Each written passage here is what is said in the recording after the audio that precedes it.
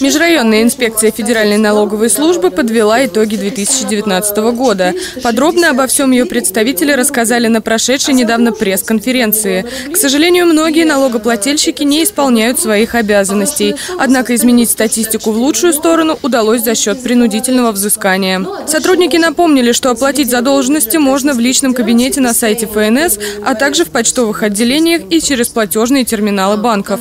Несмотря на то, что у нас 2 декабря прошел срок уплаты и начисления имущественных налогов физических лиц, и сумма начисленного по инспекции э, имущественных налогов составила 3 миллиарда 355 миллионов, нам удалось добиться снижения задолженности по имущественным налогам.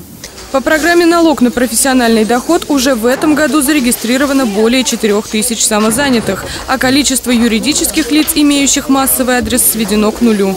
Доходило до того, что в одном помещении, то есть одна комната небольшая, да, где-то в офисе, э, площадью 8-9 квадратных метров. Почему-то оказываются зарегистрированными чуть ли не 10 или 15 организаций. Итоги 2019 года подведены. Задачи на текущий год поставлены. Федеральная налоговая служба продолжает успешно их решать в рабочем режиме.